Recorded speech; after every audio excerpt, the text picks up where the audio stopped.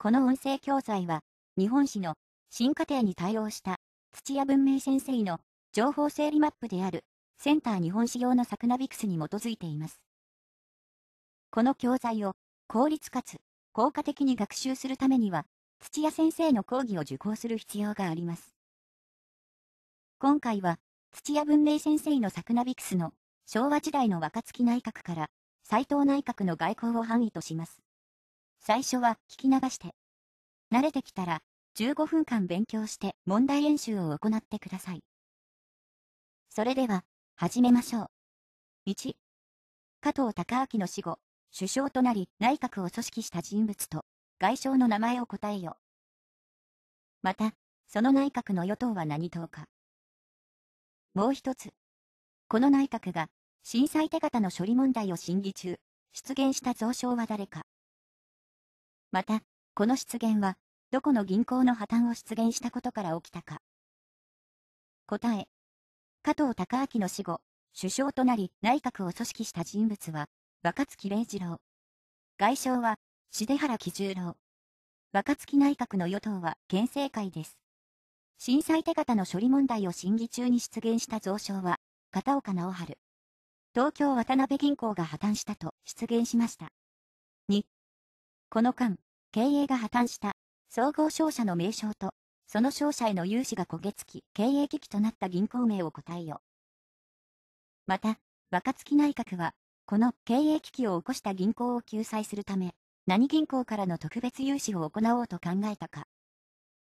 また、その方法を秘訣した天皇諮問機関の名称を答えよ。答え。この間、経営が破綻した総合商社は、鈴木商店です。鈴木商店への融資が焦げ付き、経営危機となった銀行は、台湾銀行。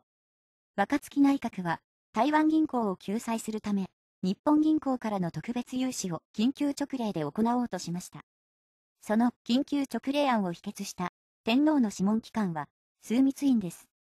3、枢密院が台湾銀行の救済を拒んだ理由を中国問題に触れつつ簡単に説明しなさい。答え。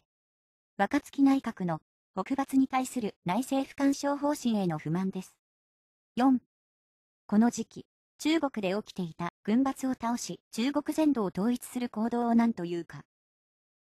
また、それを最初に行った人物と、その人物の後継者となった人物をそれぞれ答えよ。答え。この時期、中国で起きていた、軍閥を倒し、中国全土を統一する行動を北伐と言います。北伐を最初に行った人物は、孫文。孫文の後継者となった人物は、蒋介石。なお、蒋介石はその後、南京に国民政府を樹立しました。背景の画像は、若月礼二郎のお墓です。ロンドン海軍軍縮条約を調印した際に、日本の国力に見合った軍事力を持つべきという意味で、骸骨が大砲を引っ張ってもしょうがない。と発言したことでも有名です。漫画のワンピースでも、骸骨姿のブルックは、大砲ではなく、剣士として描かれています。この情報、いる ?5、若月内閣が総辞職した後に内閣を組織した人物の名前と、その与党を答えよ。また、この内閣は、日本銀行からの救済融資によって金融恐慌を沈静化させたが、その際、銀行の支払いを一時停止させた。この支払い停止のことを何というか。また、それは何週間行われたか。答え。若月内閣が総辞職した後に内閣を組織した人物は、田中義一です。与党は、立憲政友会。田中内閣が金融恐慌を沈静化させた際、銀行の支払いを一時停止させたことを、支払い猶予令と言います。モラトリアムとも言います。モラトリアムは3週間行われました。6. 金融恐慌の結果、中小銀行を合併し、金融面で産業支配を進めた5大銀行の名称をすべて答えよ。停止ボタンを押して、答え終わったら次へ進みなさい。答え。金融恐慌の結果、中小銀行を合併し、金融面で産業支配を進めた五大銀行は、三井、三菱、住友、安田、第一です。7. 第1回の普通選挙は、西暦何年に行われたか。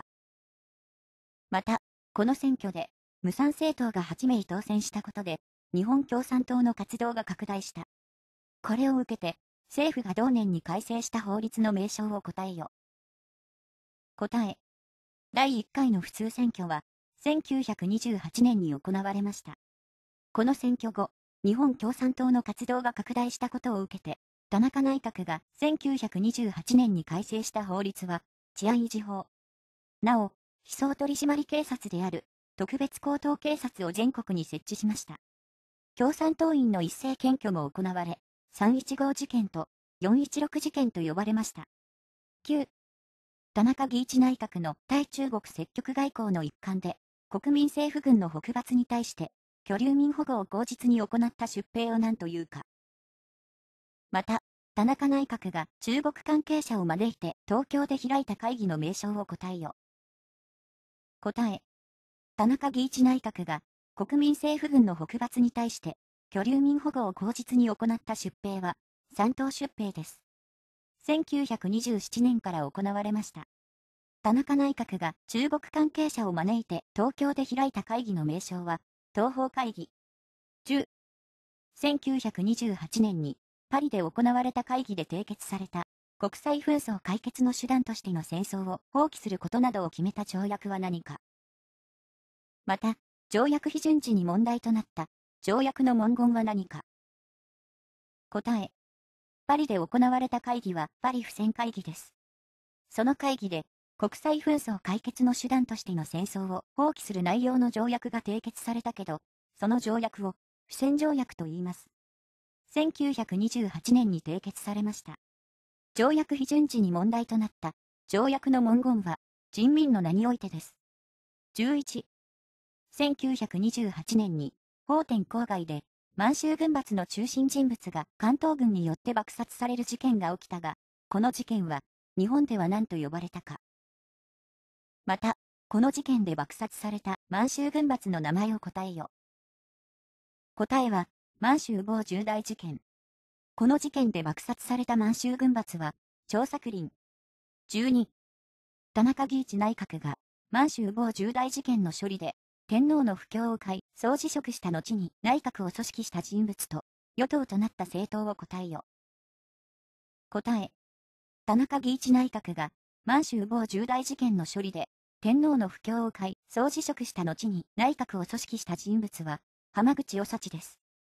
与党は、立憲民政党です。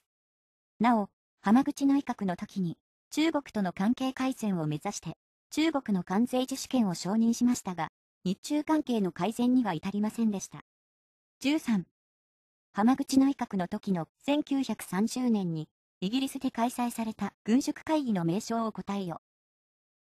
また、日本の主席全権は誰か答え、1930年にイギリスで開催された軍縮会議は、ロンドン海軍軍縮会議です。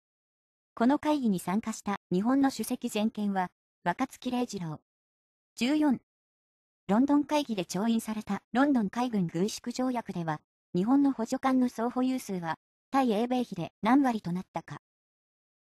また、一部の補助艦の比率をめぐり、内閣が軍令部の意向を無視して兵力量を決定したことに対して、軍部は何を問題として政府を攻撃したか。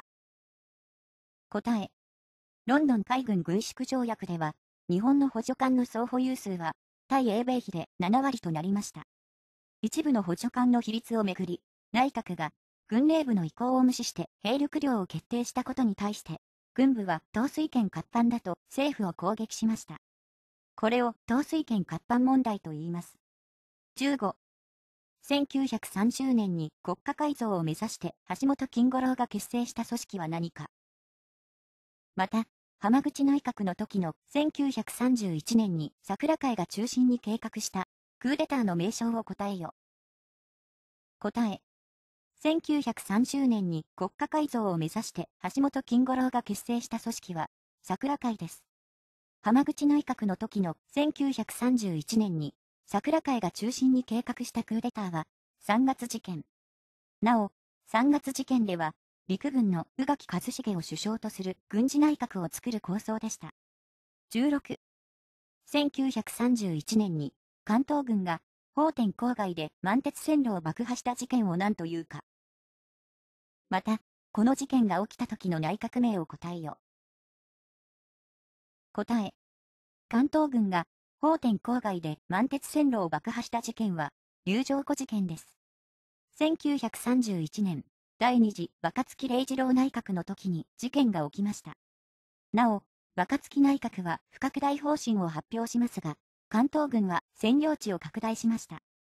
この事件から始まる日中間の戦争を満州事変と言います。17、桜会が中心となり、満州事変に呼応したクーデターが計画されたが、その事件の名称を答えよ。答えは、10月事件です。その後、事態の収集が困難となり、若月内閣は総辞職します。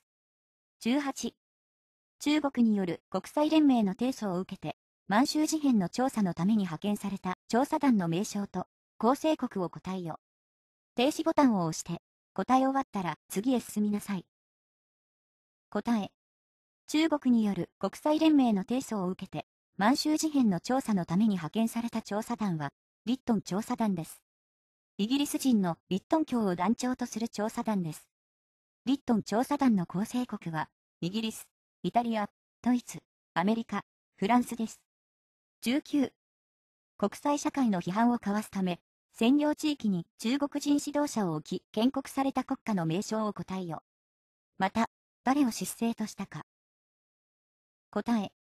国際社会の批判をかわすため、占領地域に中国人指導者を置き建国された国家は満州国です。不義を失勢としました。なお、不義は1934年に皇帝となっています。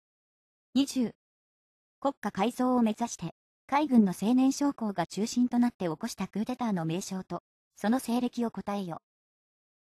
また、そのクーデターで殺害された首相は誰か。答え。海軍の青年将校が中心となって起こしたクーデターは、515事件です。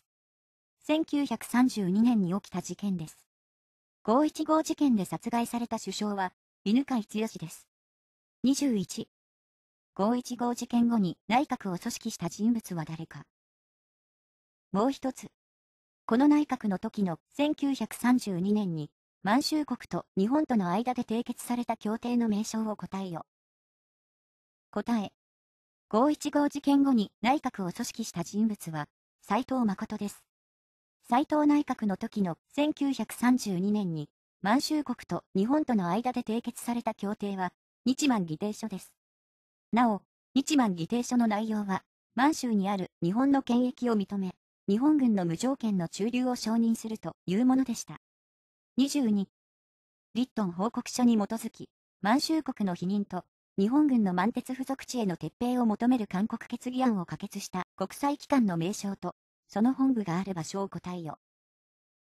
もう一つ。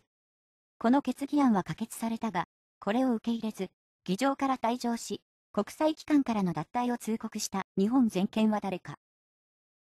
また、脱退を通告した西暦を答えよ。また、その通告の発行は、西暦何年になるか。答え。リットン報告書に基づき、満州国の否認と、日本軍の満鉄付属地への撤兵を求める勧告決議案を可決した国際機関は、国際連盟。本部はジュネーブです。決議案は可決されたけど、これを受け入れず議場から退場し、国際機関からの脱退を通告した日本全権は、松岡洋介です。国際連盟脱退通告は、1933年です。脱退通告の発行とは、正式な脱退ができるということですから、それは1935年になります。23. その後、日本軍の熱化侵攻をきっかけに、中国の国民政府との間で締結された停戦協定の名称を答えよ。また、それは西暦何年か。答え。